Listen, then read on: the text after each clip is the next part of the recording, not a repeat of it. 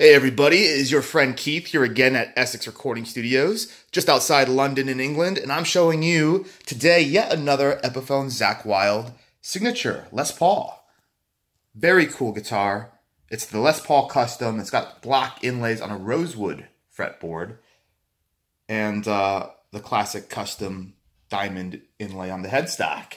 This has got the 81 and 85 EMG Zakk Wylde combo 81's the silver, 85's the gold on the font, that is. So if you look at the EMG logos, you can see they are different colors. This is actually a, a, Chinese model. This is a later one. So initially these were made in Korea and then later in China. The build quality feels the same to me. I, I can't tell the difference. Uh, the nicer thing about the later models is they come with the proper active EMGs versus the passive EMG HZs or HZs, as they say over here. Um, you know, they all come with Gold Grover tuners. We'll go over some differences between the Chinese models and the Korean models. Uh, in some ways, I guess you could say the Chinese ones are actually nicer. Um, but yeah, let's talk about that. So for starters, we've got a quick access battery cover. Now, how intelligent is that? I think it's actually quite silly in the, this day and age to have active pickups on a guitar without, you know, having to bust out a screwdriver and pull out four screws. It's just, it's not convenient at all. And if you were to gig with this and had an emergency situation, not ideal. So that's different, and that's a bonus. That's an upgrade and an improvement over the Korean models. Uh, the necks are different. There's no scarf joint here, which I guess you could say is more true to form for the original Zakk Wylde guitar. His doesn't have a scarf joint either. That being said, people like them because they add more uh, stability, I guess, to a neck.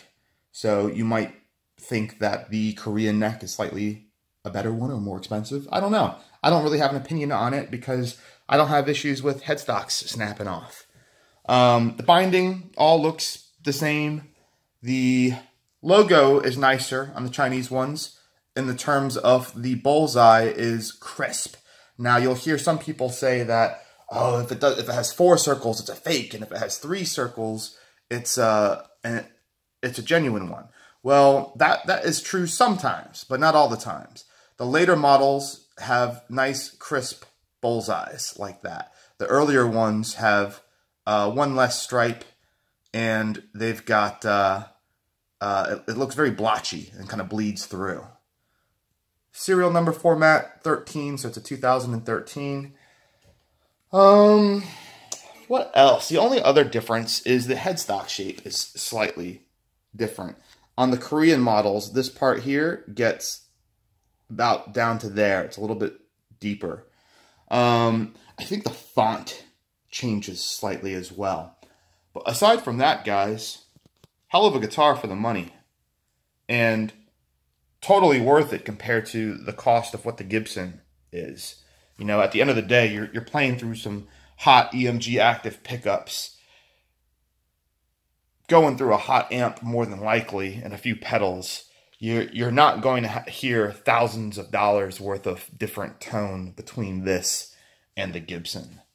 But, uh, yeah, that's, that's pretty much it, guys.